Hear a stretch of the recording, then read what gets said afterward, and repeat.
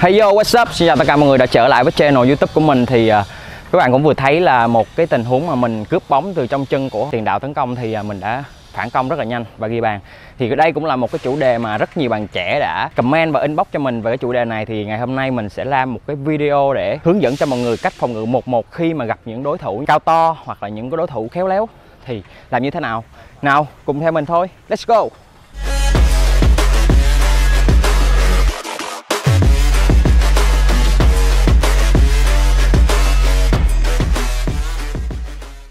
Chúng ta sẽ có hai cách phòng ngự đó là phòng ngự mặt đối mặt và phòng ngự từ phía sau lưng. Thì à, ngày bây giờ thì mình sẽ hướng dẫn cho mọi người cách phòng ngự mặt đối mặt. À, những cái mà mắc phạm sai lầm của mọi người thì thường thì mình thấy là thứ nhất là tư thế đứng. Mọi người sẽ đứng hai chân rộng bằng vai như thế này. Rất là dễ cho đối phương à, uh, sọ kim hoặc là khi mà đối phương lừa qua được bóng qua người mình thì cái tư thế quay lại để dí theo đối phương rất là khó. Nên mọi người lưu ý ở cái điểm này. À, và một cái điểm sai thứ hai đó là thường các cầu thủ à, không có những cái bước thăm dò đối phương và vào bóng rất là nhanh thì dễ bị đối phương lừa qua. Ok. Một cái điểm à, sai thứ ba là thường các bạn sử dụng tay không kín thì à, phần này thì thường các bạn để dùng sử dụng tay cao ngang mặt quá thì sẽ bị trọng tài thổi phạt. Vừa rồi thì mọi người đã xem những cái cách mà phòng ngự sai thì bây giờ mình sẽ hướng dẫn cho mọi người những cái tư thế và những cái cách phòng ngự đúng đầu tiên là cái tư thế đứng của mọi người là chúng ta sẽ hạ tóc trọng tâm. Thứ hai là chân trước chân sau như thế này. Để khi mà đối phương đi bóng ở biên hoặc ở giữa thì chúng ta có cái khoảng cách và chúng ta có thể phập được bóng và vào được bóng. Rồi đấy chúng ta sẽ chặn được bóng. Ở biên thì cũng như, như thế. Chúng ta cũng sẽ chặn hoặc là chân trước chân sau như thế này. Ok. Chúng ta sẽ có uh, những bước lùi nhỏ để thăm dò đối phương như thế này chứ không à, chứ, chứ không là chúng ta bước khi mà thấy đối phương thì chúng ta thường ập vào bóng liền. Đây là không nên nha mọi người. Thì uh, những cái động tác này thì mọi người có thể tập ở ngoài sân lúc không bóng cũng được để cho chúng ta quen cái tình cái tư thế để chúng ta vào phòng ngự rất là tốt. Và một cái điểm lưu ý là khi thăm dò đối phương thì mọi người nên đứng ở cách đối phương chừng một mét. Khoảng cách một mét là khoảng cách khi mà chạm vào đối phương là khoảng cách một găng tay nè mọi người. Mọi người không đứng xa như thế này nha. Cũng không đứng gần. Được chưa? Đứng xa thì à, mình khả năng mình pressing không có và đứng gần thì dễ đối phương lừa qua. Chúng ta chỉ có tư thế chân trước chân sau hạ thấp trọng tâm và chạm người vào đối phương. À, nếu mà mình không chạm vào đối phương được thì mình cũng có khoảng cách mình sẽ ướt chân như thế này được chưa? Ok. Tiếp theo thì mọi người nên đọc chân thuận của đối phương bằng cách thì à, lúc mà các bạn đang cái bước mà mọi người đang thăm dò thì đọc xem thì đối phương thuận chân nào để ép cho đối phương về chân không thuận để dứt điểm.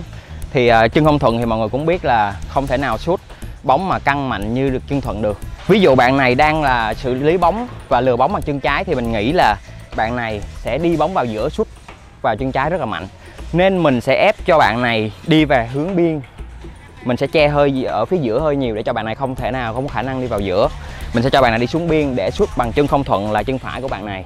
Tiếp theo là cách sử dụng uh, tay như thế nào cho hợp lý thì hồi nãy mọi người cũng thấy là ở trong video thì mình đã làm sử dụng cái động tác tay cao trên mặt để phòng độ đối phương và ở những cái sân bóng phủi và những cái à, giải đấu thì thường là dễ gây ẩu đả trên sân và xảy ra những cái đáng tiếc.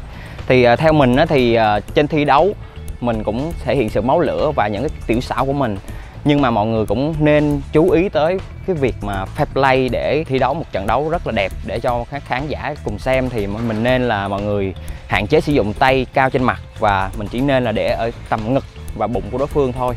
Thì à, đầu tiên thì mọi người đứng gần đối phương. Khi mà đối phương qua bóng thì mọi người nên chèn tay ở phía bụng và ngực hoặc là phần dưới. Đừng nên để ở phía cao trên mặt như thế này. Đây là những cái à, mình à, hướng mọi người tới cách chơi bóng đá đẹp tiếp theo thì mọi người nên tập trung cao độ vào bóng, hạn chế nhìn vào chuyển động phần thân trên của đối phương đánh lạc hướng mình.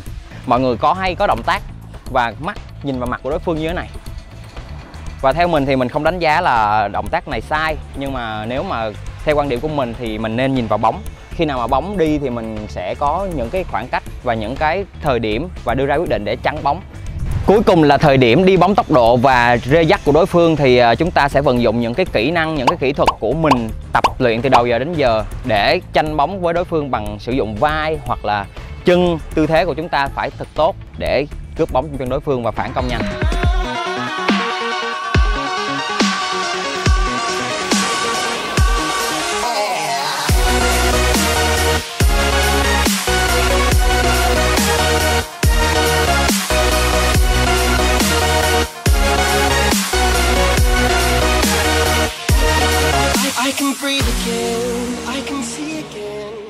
Và bây giờ chúng ta sẽ đến với cách phòng ngự thứ hai, đó là phòng ngự từ phía sau lưng. Thì các bạn cũng thấy là cách phòng ngự này thì thường sẽ đối phó với những pivot là những người to khỏe có khả năng tùy đè, xoay chở để hoặc là nhảy về cho đối phương sút.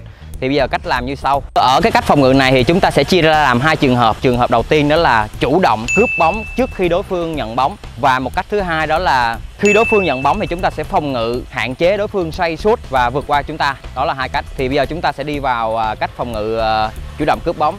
Vẫn sẽ có những bước thăm dò, đó là thăm dò xem đối phương là pivot thuận chân nào. Có nghĩa là khi ờ, pivot thuận chân phải thì chúng ta sẽ thường đứng ở phía bên phải. Khi bóng vừa lên thì chúng ta sẽ lao lên cướp bóng. Bởi vì khi đối phương mà nhận bóng bằng chân phải thì cái khoảng cách chúng ta đến với bóng gần hơn là khi chúng ta đứng ở phía bên này. Bên này rất là xa. Chúng uh, lúc pivot thường thường sẽ sử dụng thêm phần cánh tay nữa. Chúng ta sẽ rất là khó để nhận cướp được bóng nên chúng ta sẽ đứng ở tư thế bên này. Chúng ta sẽ tranh bóng gần hơn. Một trường hợp nữa là khi bóng vừa lên thì chúng ta sẽ lao lên cướp bóng. Thường thì những cái cầu thủ mà chơi ở vị trí pivot thì họ rất là to và khỏe.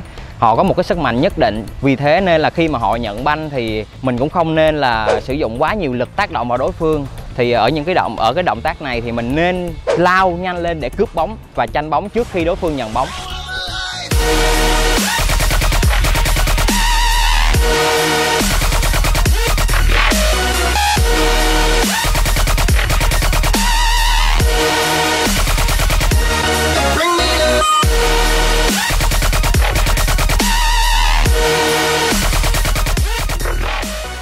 Bây giờ chúng ta sẽ đến trường hợp thứ hai đó là khi mà đối phương đã nhận được bóng rồi và chúng ta bắt buộc phải đứng phía sau lưng của đối phương.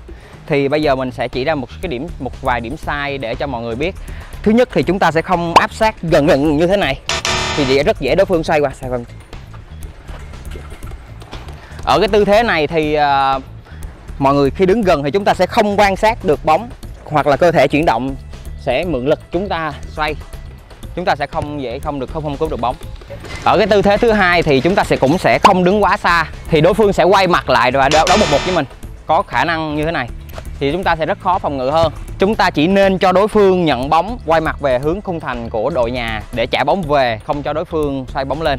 Và ở một cái sai tiếp theo là chúng ta không sử dụng những cái lực đẩy mạnh lên lưng đối phương, thì đối phương sẽ dùng tiểu xảo hoặc là những cái mưu mẹo để gây cho chúng ta phạm lỗi. Như thế này. Đây là một điểm sai. Tiếp theo thì chúng ta không nên à, sọc bóng bậy khi mà chúng ta cảm thấy chưa thực sự chắc chắn để à, tranh cướp được bóng. Thì như vậy thì rất là dễ dàng cho đối phương à, vượt qua mình một cách dễ dàng và nhanh nhất. Đó cũng là những điểm mà mọi người thường hay phạm sai lầm khi mà phòng ngự đối với một pivot thì bây giờ mình sẽ hướng dẫn cho mọi người những cái cách phòng ngự đúng nhất.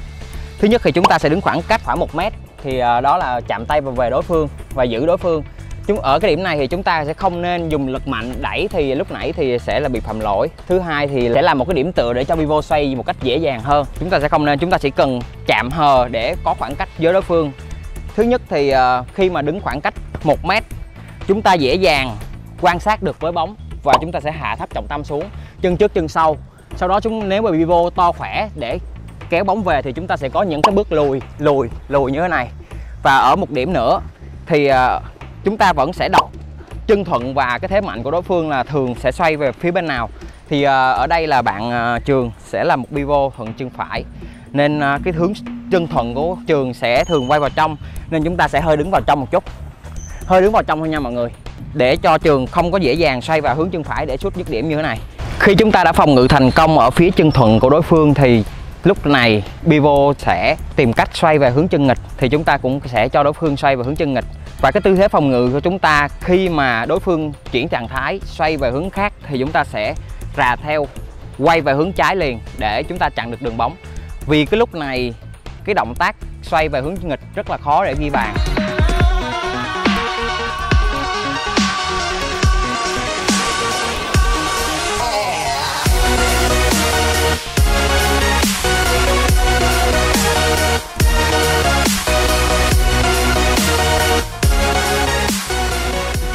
Nếu muốn cướp bóng trong chân đối phương thì mọi người hãy nên chắc chắn rằng đối phương đang gặp bất lợi. Vì khi các tiền đạo đang nhận bóng, họ thăm dò đối phương. Khi đối phương bắt đầu soạt chân để cướp bóng, thời điểm này sẽ dành cho BiVo xoay người. BiVo trong một cái tư thế bất lợi, có nghĩa là BiVo lúc này giữ bóng quá lâu, không thể truyền được cho đồng đội của mình hoặc là cũng chưa ra quyết định xoay suốt.